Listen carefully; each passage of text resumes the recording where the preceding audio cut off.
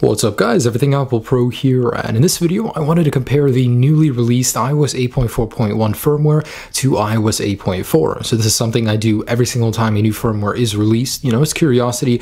I like to see what's changed, if there's anything under the hood performance-wise, you know, Wi-Fi speed test-wise, that Apple has updated and remedied. Now we all know that iOS 8 has the Wi-Fi bug. I mean, it just drops, it's slow, so I just want to see if iOS 8.4.1 fixes that issue. If it's any faster. Usually Apple does under the cover updates and they don't really mention them. It's uh, hard to see until you start using the device. Now in my previous video, iOS 8.3 versus 8.4, I did know that iOS 8.4 was a little bit slower than 8.3 on the iPhone 4S. So I'm going to be testing this comparison on both iPhone 5 and iPhone 4S, two of the slowest devices, you know, two of the oldest ones that currently support the newest firmwares. So without any further ado, let's go ahead and get started. I'm going to be running a speed test, a Geekbench, launch some applications, you know, just generally see how it compares to the old firmware. A couple questions I wanted to answer right now.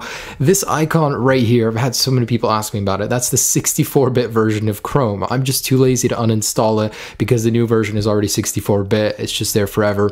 What are these phones doing on my table? I'm going to be doing a new case test video very soon this week with a water test and 10 more durable cases. So stay tuned for all of that.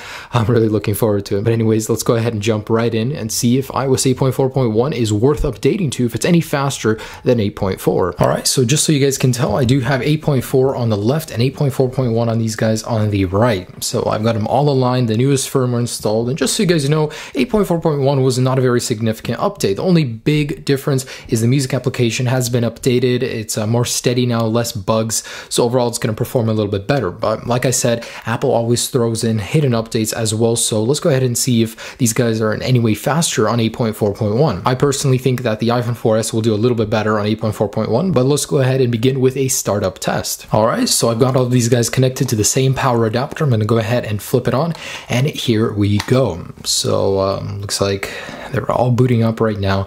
I'm personally rooting for 8.4.1. It seems like a very light update. Um, it doesn't seem like there's any big performance change, but who knows? It might make a little bit of a difference. And looks like the iPhone 5s are booting up. So uh, 8.4.1, remember, is on the right and looks like 8.4.1 might be in the lead. Nope. 8.4 was a few seconds faster actually. Wow. So uh, 8.4.1 on the other hand on the iPhone 4S was a tad bit faster. So it looks like on the older devices, it booted up a little bit faster. On the newer one, it was uh, you know pretty much the same. 8.4 was a few seconds faster. Anyways, let's go ahead and jump in and uh, launch some applications, see how usability is. I'm going to go ahead and clear out the entire app switcher. All right, so with everything cleared out, let's go ahead and start on the iPhone 4S. Let's go ahead and launch the App Store, see which one takes longer to load. And looks like 8.4.1 is actually a few seconds faster. Not only did it launch smoother, look at this, it loaded a lot faster. This one's not even doing anything. Wow, I'm impressed. Uh, let's see if that translated over to the iPhone 5. Anyways, let's go ahead and launch this guy. And looks like 8.4 again was a little bit faster. Hmm, I don't understand why. It seems like 8.4.1 is faster on the older devices. Now let's go ahead and uh, try the Maps application. As you can see, it's very noticeable. Opening applications on the 4S is a lot smoother on 8.4.1 and it loaded a lot faster. Let's do it for weather. Look at that. Like there's no delay.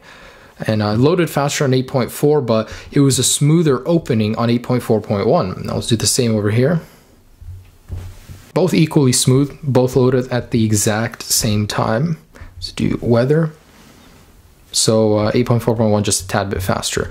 So uh, overall, in terms of fluidity on the older devices on the 4S, looks like it is better on 8.4.1. So this is a firmware definitely worth updating to on the 4S. And let's go ahead and jump into the Geekbench, see if the numbers prove that it is a little bit faster.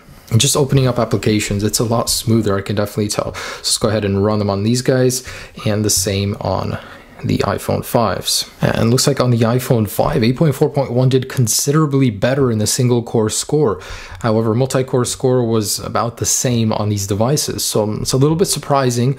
That's a pretty big deviation right there. I'm wondering to see if the iPhone 4S will have the same results. Now, the iPhone 4S on 8.4.1 did finish considerably faster. And as you guys can see, the score is noticeably better. So in both cases, this does support 8.4.1 is improved in performance on both devices. So even though Apple didn't make it abundantly clear in their changelog that they did improve the performance, I can definitely tell it's more fluid when opening applications. You know, the Geekbench score supports it. I mean, let me just let me just open up the iTunes application. Just watch for fluidity right here. When I open both, there's a slight stutter on 8.4 and 8.4.1 always loads faster on the iPhone 4S. So if you're still using one of these, I would certainly recommend upgrading to it. Anyways, last test, I want to go ahead and see if the Wi-Fi was improved, if it's any better. I'm going to go ahead and run the speed test individually on every single device and see if it did improve. So check this out. Not only did 8.4.1 improve in performance, fluidity, and speed, it's also doing much better in terms of Wi-Fi speed. So on the iPhone 4S, it's not as noticeable. You know, there's a little bit of an increase